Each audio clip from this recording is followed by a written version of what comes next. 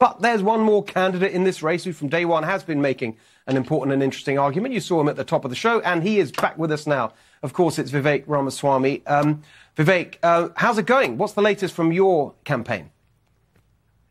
Well, things are going well, Steve. We're at the latest polls that just came out at the end of last week, polling at 8%, third place amongst the declared Eight. candidates, and I started at 0.0%. So, yeah, that was on the last poll on Friday night. So we're making progress. I think it's because we that actually have to, a message, Steve. So, so I'm Absolutely. happy Sorry, that. I just wanted to, I didn't want to cut you off, but I mean, the point is that, that I know people say, well, 8%, that is actually puts you, I think, at the, absolutely at the top of the pack uh, behind the, yes. the people that are described as the front runners and the big battle, you know, Trump DeSantis. That's very impressive. Okay, let's get to your argument because it is important that people understand what it is. That's what this whole election is about.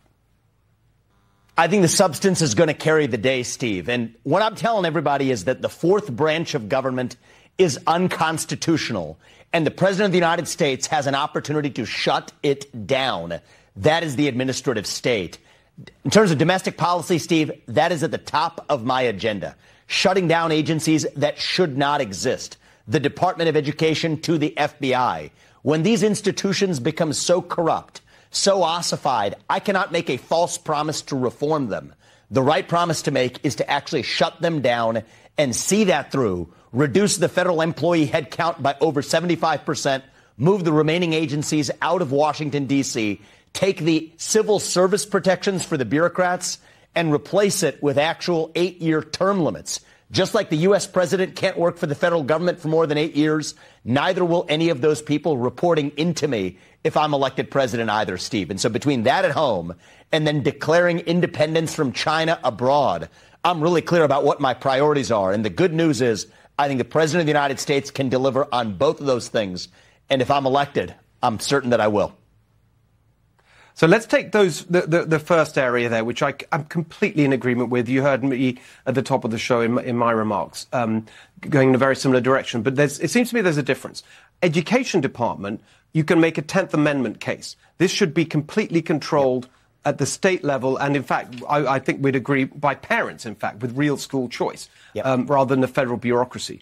But with the FBI, again, agree about the corruption, but there is a need for some federal law enforcement, right? You're right. And you, you, this is why I love talking to you, Steve, because those are in two distinct categories. One is an agency that should not exist and should be shut down. One is a matter of bureaucratic reform, radical bureaucratic reform of the federal government.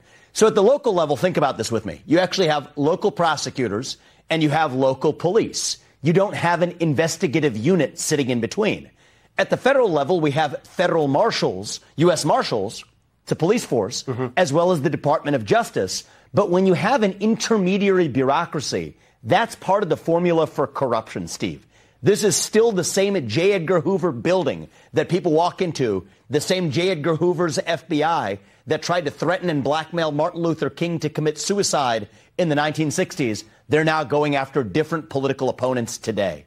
So what I say is when that managerial rot becomes so deep, you can actually shut it down and also gain efficiency.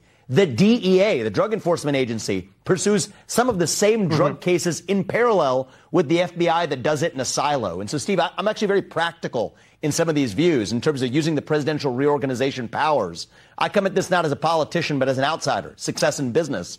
I'm actually going to run the executive branch of the government as a true chief executive. And that's also how we get rid of corruption, but also deliver efficiency. Yes, yes and I have right. my eyes on both because the corruption, you know, all these sprawling agencies, that's where the corruption can go. Um, as I mentioned yes. earlier, Vivek, uh, I think we can all see why you're doing well. Amazing energy there, and, and a really, really serious um, transformational plan. Um, I, I, think um, I'd be right behind it. We'll see how you get on in the campaign, but so far, so good. Great to see you this evening. Thank you.